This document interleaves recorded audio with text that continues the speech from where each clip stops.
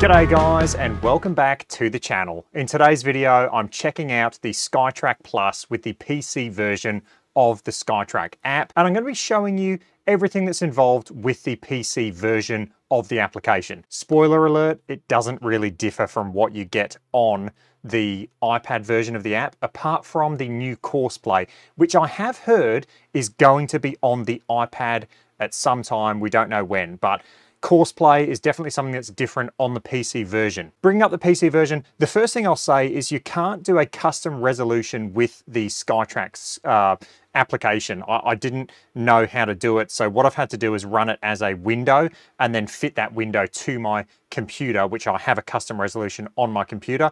As soon as I try and go full screen, which gets rid of the taskbar, um, it doesn't fit my projector perfectly. So I'm running it in this view. That's the only way I could get it to fit my projector perfectly because I am running a custom resolution on my projector. Okay, looking into the PC version, you're gonna get the practice tab. This is literally the SkyTrak range as you had exactly the same in the application on the iPad.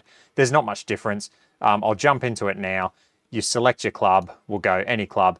Graphics wise, doesn't really look any different. It looks honestly the exact same. You do have an additional practice area though. So selecting practice area, you are going to be able to jump in and go to some of these other practice areas.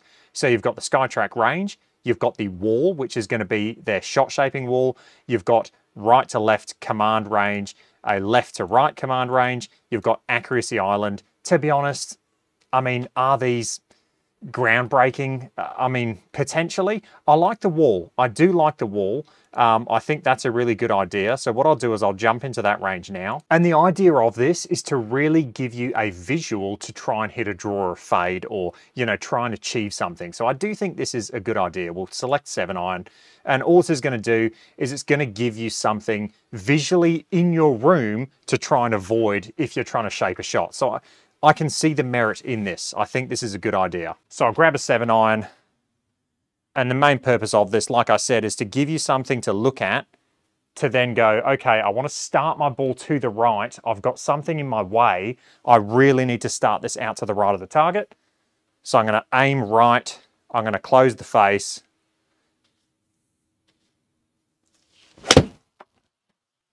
The ball will start out right and it should be drawing back. Um, and so yeah, side spin, it's got left side spin. That, to me, I can see, there is merit in this range.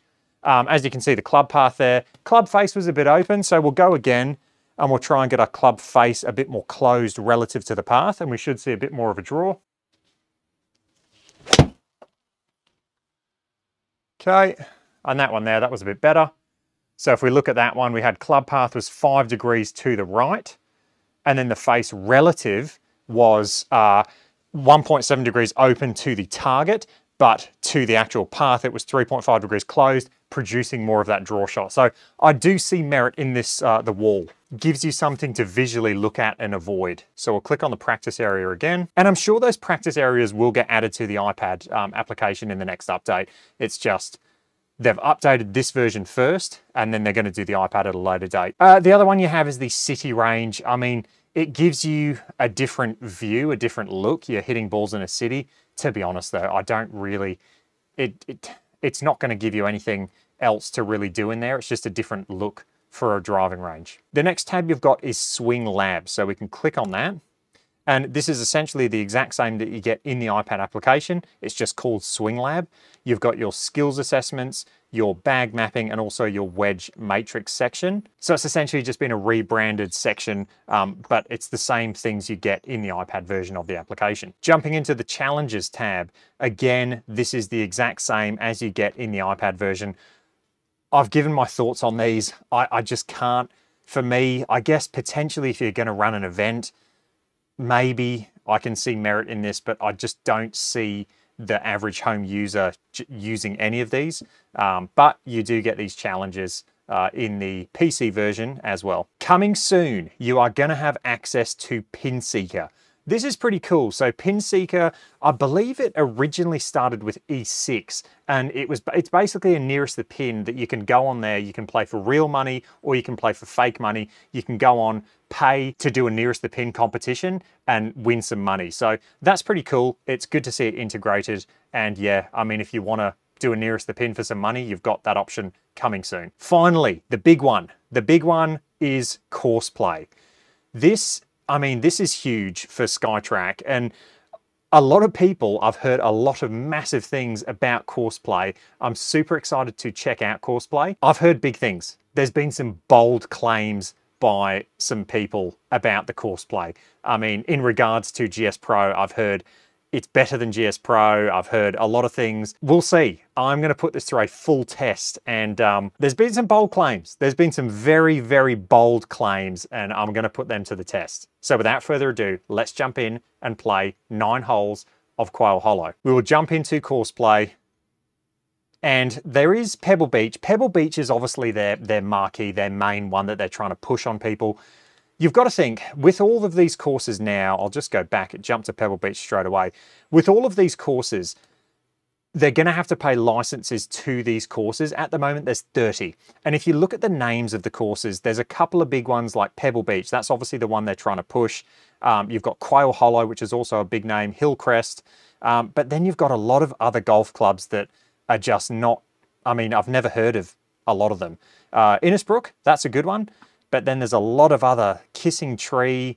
Um, there's a lot of other ones that just don't really interest me at all. And obviously they've tried to bulk up their course list by getting, you know, a few big names to try and attract people and then bulk up their, their course numbers with just a lot of other courses.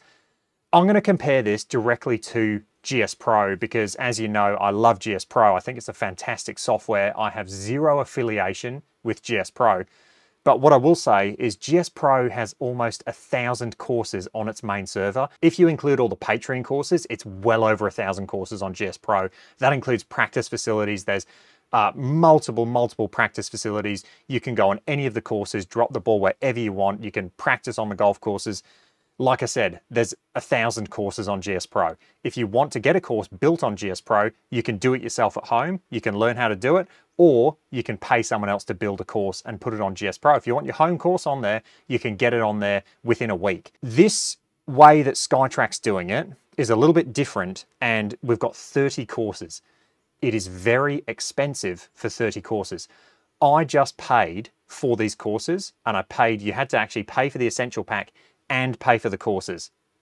It was very expensive. It was 520 Australian dollars to get access to these 30 courses. Or if you live in the States, it's 350 US dollars. So 520 Australian dollars to basically get course play. So yes, I know it's only just been released, but for that price, I expect big things. I really expect big things, and I'm super keen. This is the first time I'm going to go out there and play any of these courses, and I'm going to jump in and play Quail Hollow. So let's select that course. Let's do the front nine. We'll go stroke play. We will do putting out. I'm really keen to do that. Uh, gimmies will set at, let's go five feet. Pin positions medium. We won't do any wind. That all looks good. And we will go off the, let's go the blue tees. Now, I have zero affiliation with SkyTrak. I've paid for all of this. This launch monitor was not provided by SkyTrak. So I can say whatever I want. I'm not bound by any restrictions. This is going to be my 100% my thoughts. And I'm going to give you an honest review, an honest feedback. I'm going to try and be as unbiased as I can. But as you know, I love GS Pro. I have played that a lot. And so I am going to be comparing this to GS Pro. Straight off the bat, standing on the first tee, I'm going to do a flyover. So straight away, the graphics look pretty good. I mean, they don't look bad. Um, it's definitely, it's nowhere near GS Pro though. And for anyone to say that these graphics are anywhere close to GS Pro is they're, they're wrong. Um, yeah, they're just wrong. The detail in the grass is nowhere near GS Pro. The shadows look really good. I do like that, but you're not getting anywhere near the detail you do in GS Pro on Ultra. And I will in another video, do a complete side-by-side -side comparison to GS Pro. I'll use Quail Hollow because uh, GS Pro has Quail Hollow on there. But to me, this is just, it's really good. Don't get me wrong, but it's just not as good as GS Pro. And I just want to be completely clear when I say that. Okay, first hole It is a dogleg right. Let's hit a driver down there. Oh, that was a stiff swing. Should draw back. Come on, draw.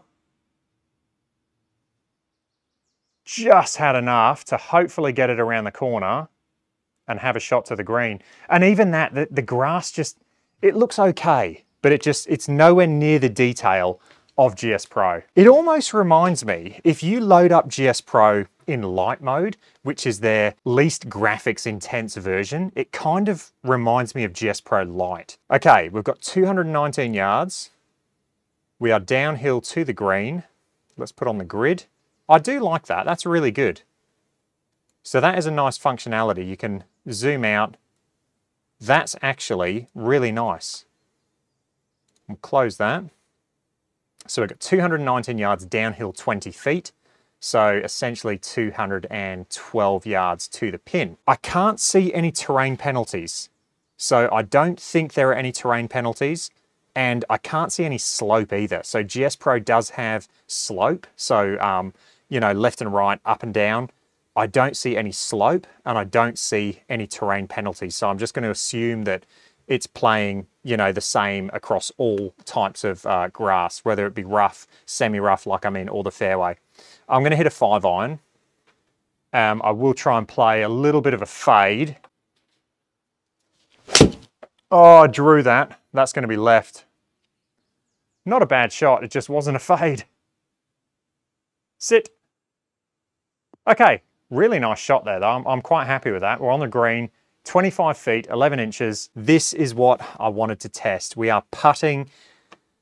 This is exciting. Um, I'm going to see putting for the first time with the SkyTrak. And you know how I am with my putting. I am very aware of horizontal launch angle and I'm very aware of ball speeds. So we have 26 feet, uphill six inches, just on the greens. So I'll go into the menu. We are in putting mode now. I cannot see anywhere to adjust green speed. So I don't really know the stimp of these greens. I'm going to assume they're slow. This is uphill.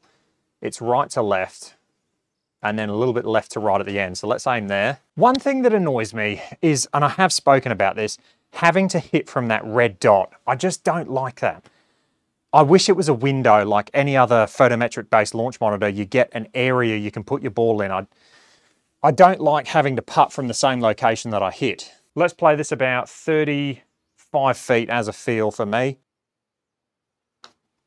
That was a really nice putt.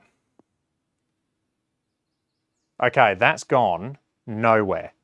I mean, I smashed that. Eight miles an hour ball speed.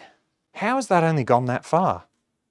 Let me compare that. So GS Pro on, on Stimp 10 on GS Pro, 8 miles an hour ball speed is 30 feet. So that's gone absolutely, that was like putting through mud. All right, let's, um, 12 feet now. I'll try and hit this one a little bit harder. I'll hit this as if it's a 25 foot feel then. This is like playing Stimp 4. I smashed that. Okay, that has gone nowhere and it came off dead right. How is that five degrees right? That's completely wrong. So that one there, I mean, it was short as well. I smashed that. But the thing that concerns me is the horizontal launch angle. There is no way that I've hit that five degrees right. Absolutely no way. I wish there was a putting green on this software. I just want to go to a putting green and I want to hit some putts or I want to go hit some chip shots there's, there needs to be a chipping green and a putting green, but man, that was uh, five degrees right. I've never seen that. Not even with the GC2. The GC2 was, the worst I saw was about three degrees left or right. Okay, uh, we have the second hole. You can expand this. So that is a really nice feature in this mini map. Hitting this little um, button there and it expands it and opens it up and then you can aim within that. And uh, I do actually really like that. We're gonna aim just there. So that looks good. Try and hit a good drive. So straight off the bat, I've got to say with putting, I'm not impressed so far. Um, green speeds, I mean, these are so slow, like seriously slow. But that was the first hole, so it might get better.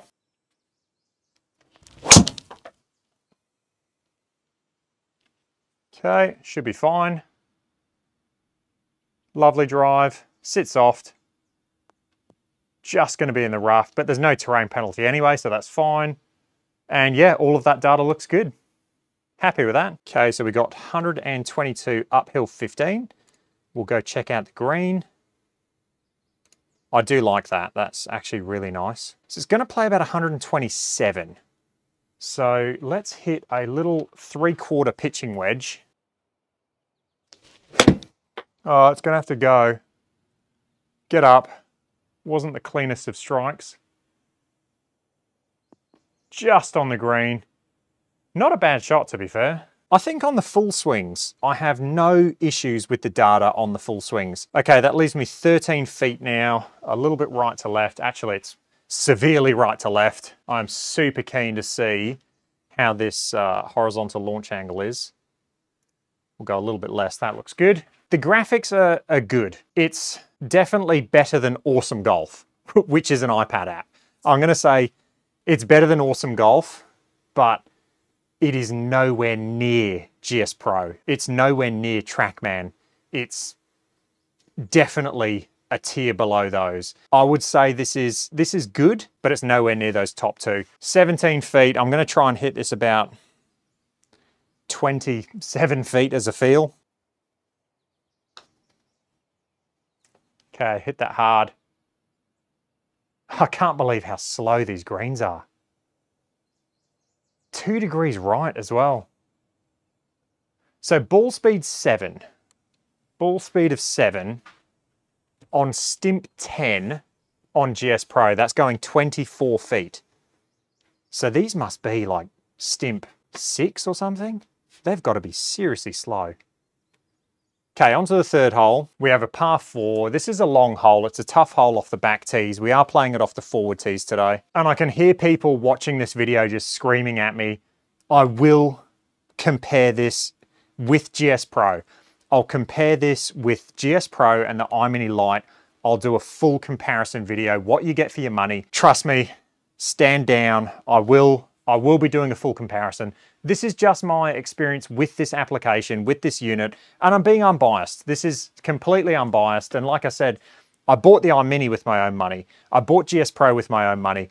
The SkyTrak, someone in Adelaide loaned it to me, but I bought the software with my own money. So this is just me in my simulator playing and just talking about my experience using this unit and this software. But I will be doing a full comparison.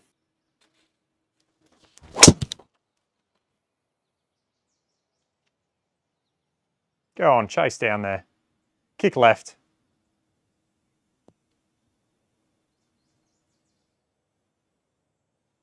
I mean, it's not bad. It is definitely not bad. The experience you get with full shots is really good. I think, you know, apart from having a hit from that red dot, the data is, is good with this thing on full shots. Okay, 128 green slopes a little bit right to left. I can't aim in this view. That's annoying. I'd love to be able to just aim in that view. 128. And I can't use the arrow keys as well. You've got to click. So let's just try and hit a gap wedge. There's no lie penalty. See, in GS Pro, this would be, the spin would get affected because you're in the rough, but this doesn't have that. So it's essentially hitting at a fairway.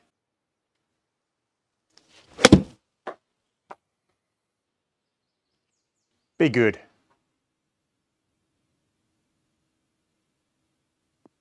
Oh, a little bit short. Not too bad. 18 feet below the hole. Uh, that carried 123. So yeah, that's, I mean, that to me, that's good. That's good data. Okay, 19 feet now up the hill. So I'm going to have to play this like it's, I mean, yeah, I'm going to have to hit this like it's 35 feet or something absolutely smashed it, but it was a really nice putt. Just left. I got the speed right. What was the HLA? Two degrees left. I don't know about that. I really don't know about that. Okay, on to the next hole. I might have to just spend five minutes just doing some putting on, a, on one of the greens and just hit multiple putts. Fourth hole, 162 yards, four feet downhill. So I'm just going to hit an eight on.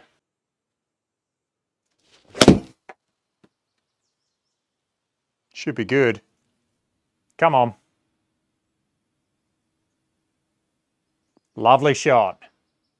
Five feet, 11 inches. Again, like all of that data looks good. What I'll start doing uh, on the last few holes is I'll start missing a few greens on purpose and I'll start hitting some chip shots and then I'll also hit a number of putts on a green because I really want to get a good feel for how the unit picks up putting and chipping. There's no putting and chipping green that you can go to, so I'm just going to have to do it on the course. Okay, six feet. That was a perfect roll, and I smashed it. Oh, you're kidding. What was the H? See, two degrees right. I'm just, that to me was not two degrees right. That was a perfect roll. So I had to hit that a 14 foot feel on Stimp 10 in GS Pro to just get it to go five, six feet. That's mad. So it's almost double. That's, I mean, you're, you're playing Stimp 5, essentially. All right, fifth hole. Let's expand this little view. 297 to carry those bunkers. That's, I mean, I'm not going to be able to do that. Let's just try and hit one down the middle.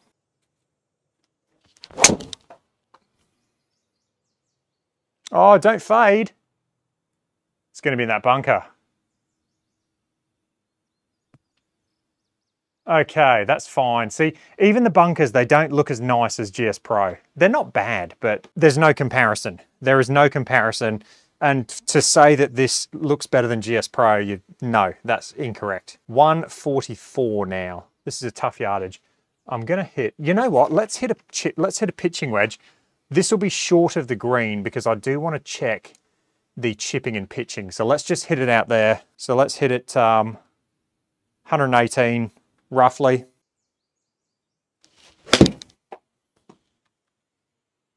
Should be about that. Sit.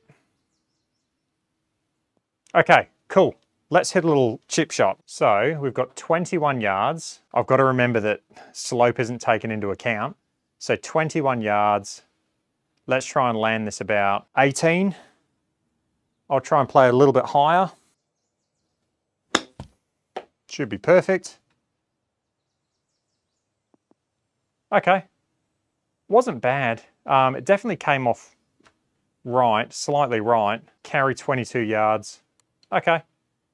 This will give us a good chance to test out putting again. Now the reason I'm aiming in the software is because I actually really want to check the horizontal launch angle of this unit and whether it can read the HLA correctly.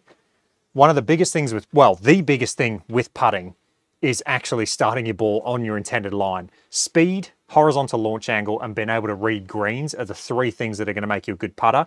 So if you're doing putting with a unit that can't read horizontal launch angle correctly, you're doing yourself a disservice and there's, there's honestly no point.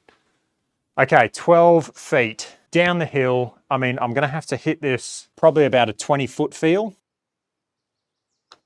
That was a perfect strike.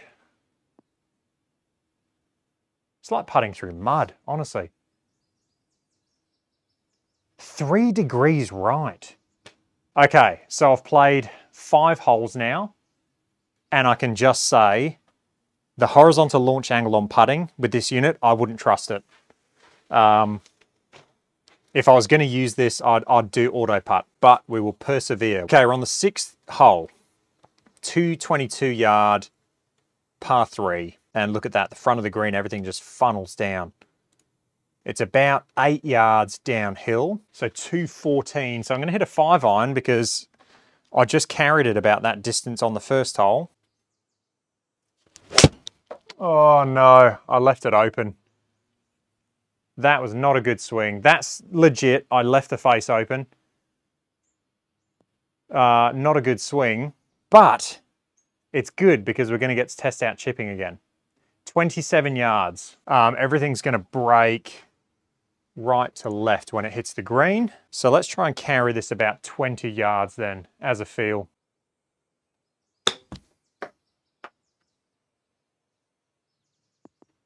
Pretty good. I mean, that wasn't bad. That was legit.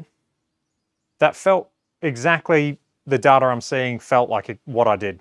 Carried 18 yards. All of that looks good. Okay, let's putt through some mud. And I know I'm aimed perfectly straight. I've got the unit perfectly parallel, so everything's, I've lined this up completely. I know my line on my ball is going directly to where I, I want to aim it. So let's hit a putt. We'll try and play this, what? Let's go 20 feet as a feel.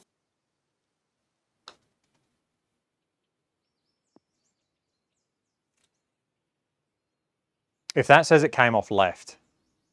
Okay, it came off center. That was good. That felt like a good putt. It felt like a perfect roll like the other ones did. That one said center um, for whatever reason. The others were a little off. Okay, seventh hole, par five. I might, on this green, just do some putts. Let's, uh, we'll try and hit this green in two and then we'll just have a putt on the green. Okay, should be down the middle. Invalid spin. Okay, we shall go again.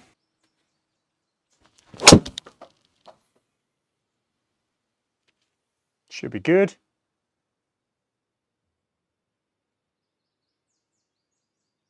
Chase down there.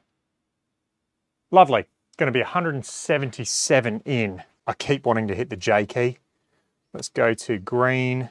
We will aim a little bit left on this one. I'm going to aim left, try and use that slope, but I also want to hit some putts. So we'll hit a seven iron, get it on the green, and then we'll do four or five putts. That was flush. Really nice swing there. Lovely shot. Okay, 22 feet to the hole, Good data there. That was a really nice shot. Happy with that. Let's hit some putts. I'm going to aim way left because I just want to check this horizontal launch angle. So let's try and hit a 10 foot putt as a feel. I don't like these uh, rectangles as well. I, I, much prefer the dots that GS Pro uses. Okay, that is perfectly straight. Let's just try and hit it 10 feet as a feel. Okay, that was a perfect putt. Dead straight. Okay, that was center, so that was actually good. Let's go again. I will again try and hit it 10 feet in my sim room. Okay. What happened there? Seven degrees right. What? Let me pull up that data. like, that literally seven degrees right. That went nowhere. And 11 degrees launch. Let me check we're in putting mode. We are in putting mode. That was a complete misread. Let's do another one. Um, I'll aim down the hill. Let's just aim there. I'm gonna have to do a separate putting test. Okay, 10 feet as a feel. Perfect putt. It did the same thing. It went like a foot. 10 degrees launch and 3 degrees right. That is completely incorrect. Maybe that's why the greens are so slow because they want you to hit it harder. All right, 15 feet. Let's try and get this in the gimme circle. Not impressed with putting if I'm honest. So this one I'm gonna have to try and hit like a 30 foot putt, which is just completely wrong for your feels. I'll smash that. And it's only gone. See, that is just crazy. I hit that so hard.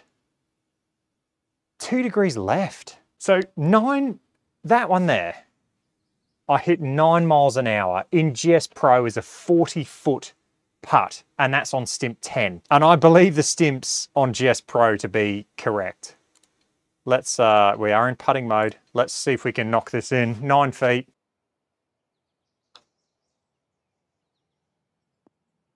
What?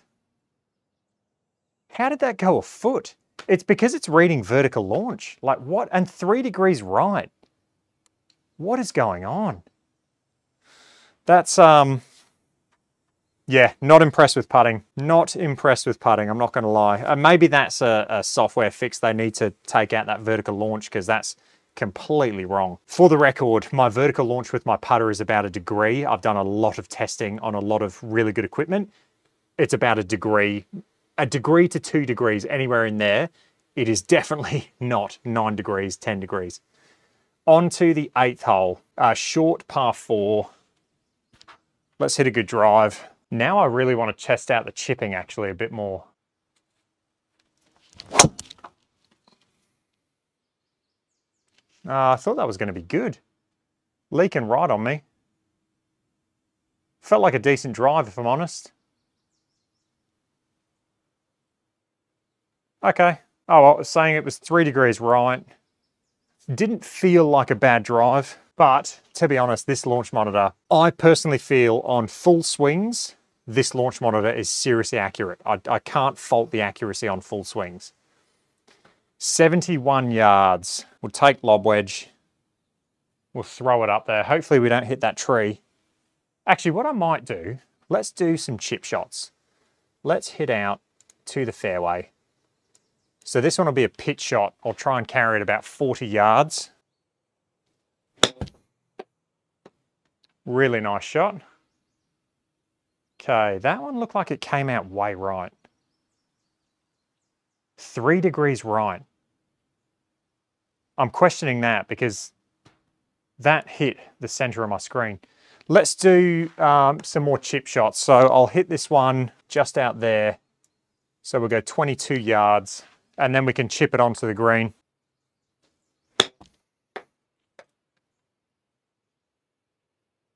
Sit. Oh no, hit it too far. That one went miles. All of that data though looks pretty good. And we'll just putt this one off. There we go. And then we can chip it. Three degrees right, come on.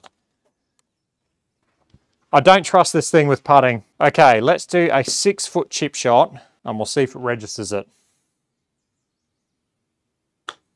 That was six foot carry. And it did. But it's saying it was four degrees right. There is no way that was four degrees right. It just wasn't. That is, um, yeah, can I do a mulligan? Let's just see if I can do a few shots from there. We can, perfect. Let's do a mulligan. We'll go again. Six foot carry. We'll go dead straight, center of the screen. That was dead straight. And it's come off right. Three degrees right. It just wasn't. Let me do one more of those. So the center line of my screen We'll put that right in the middle, where that ball is.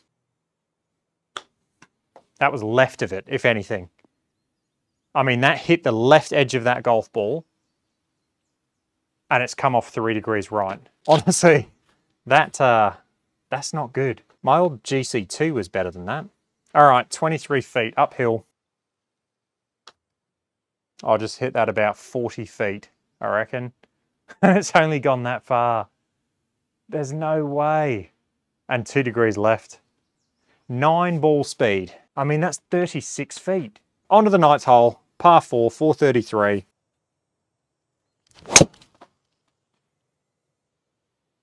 Nice drive there. Stay in the fairway. Just in the semi-rough, that is going to be fine. 124, 11 feet uphill. So I'm going to play it about 128-ish. It's going to be left to right when it hits the green. So we'll aim slightly left and we'll just hit a three quarter pitching wedge. This should be perfect.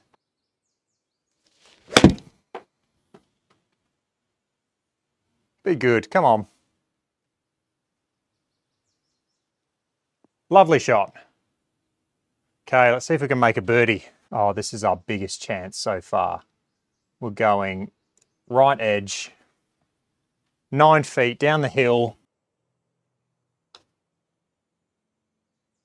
Perfect putt, What? How is that possible? Six degrees right.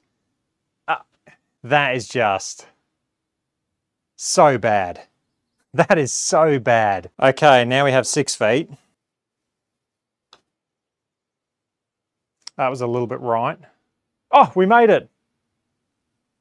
Nice. That was a par. Okay. Very, very interesting. Um, yeah, I mean, that's nine holes at Quail Hollow. Some very interesting results there. I'm going to have to do a lot more testing, I think. Straight off the bat, though, I will say the graphics, they're nice. They're a step up from Awesome Golf. That's what I'll say. They're a step up from Awesome Golf. They're, for me, probably equivalent to GS Pro Lite. And I will be doing a full comparison between GS Pro and the SkyTrak courses. But to be honest, it's there's going to be no comparison. Once you see the, the two side by side, I think you'll agree. All right, guys, that is my first look at the SkyTrak PC version and also a look at the course play. So hope you guys enjoyed that. If you did, let me know. Any comments or questions, leave them down below and I will catch you guys in the next one. Cheers.